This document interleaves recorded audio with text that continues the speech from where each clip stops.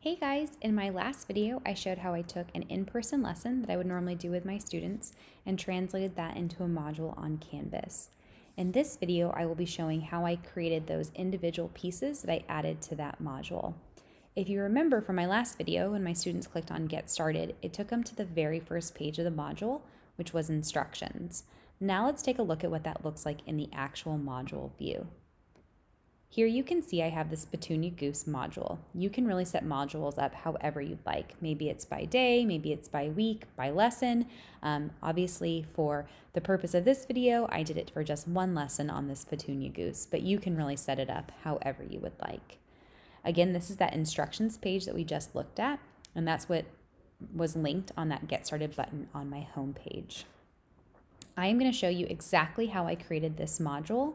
You can see that I used mostly pages, but I do have a discussion and an assignment. To start a new module, I'm going to click on the plus module button and then name my module. I'm going to name it Petunia Goose 2 and then click add module.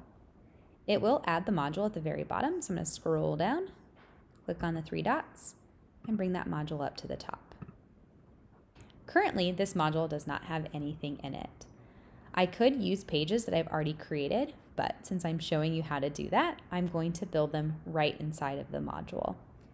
I'm going to start by clicking on the plus button, and then from the drop down, I'm going to click page, and then I'm going to click new page, and then I'm going to call this my uh, instructions for Petunia, and then click add. I'm going to continue adding the other items to my module. You'll notice that these next items have an emoji in front of them. So it's nice is I can do that same process again. It's already on page, and this time I'm going to use the quick key control command spacebar on my Mac keyboard, which is going to bring up my emoji keyboard. And now I can select an emoji to use for that title. And then click add item. I'm now going to add the rest of the pages for this module. The next item I'm going to add is a discussion. A little bit different than a page. When I click the plus button, from the drop down, I am going to select discussion, and then I'm going to do a new topic, and then give my topic a name.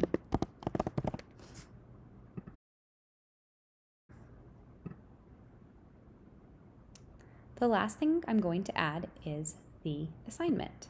So again, same process, but selecting assignment from the drop down. Again, I'm going to use that emoji keyboard and add the name of my assignment.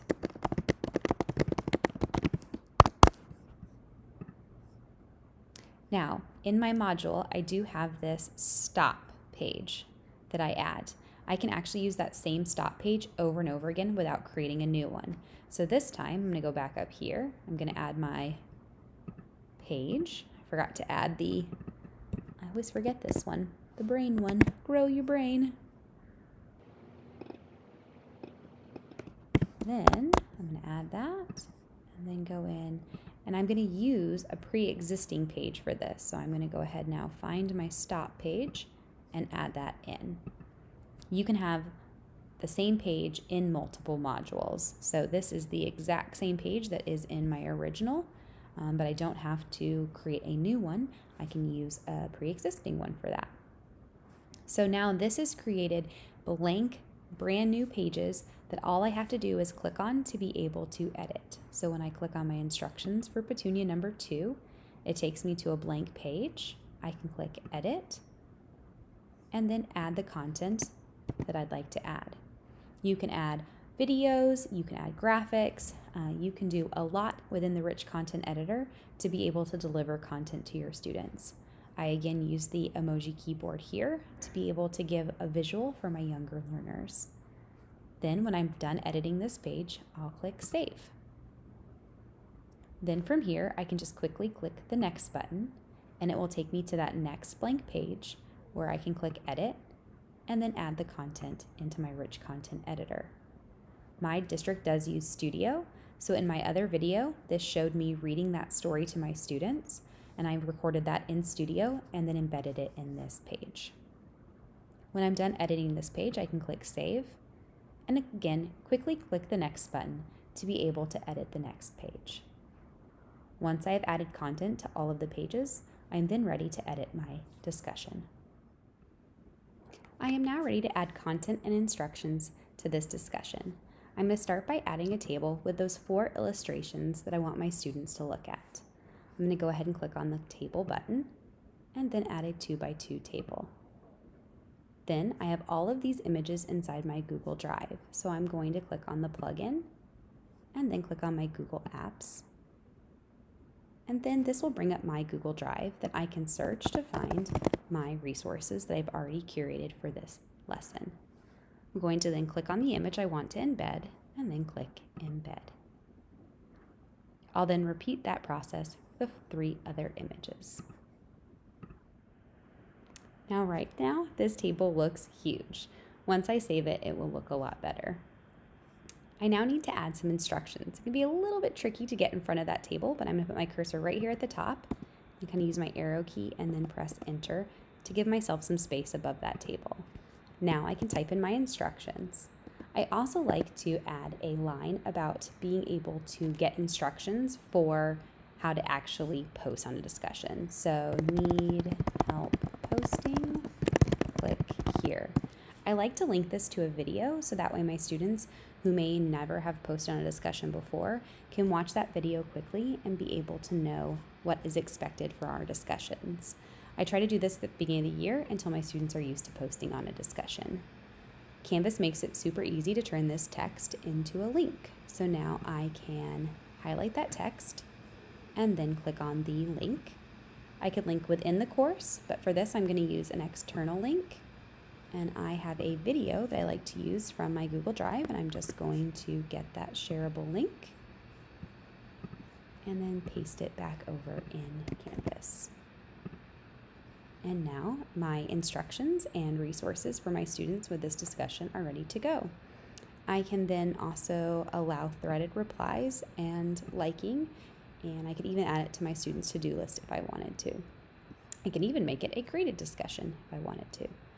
And then from here, I'm going to go ahead and click Save. And now I have those instructions, that video if my students need it, and then the illustrations I would like for my students to look at and then respond to in the discussion. When I click Next, it will then take me to that assignment. From here, I can click Edit. I can then add my details. Again, I like to include little emojis just to help students kind of visually see what I'm expecting. I've also added a link here um, to some step-by-step -step instructions.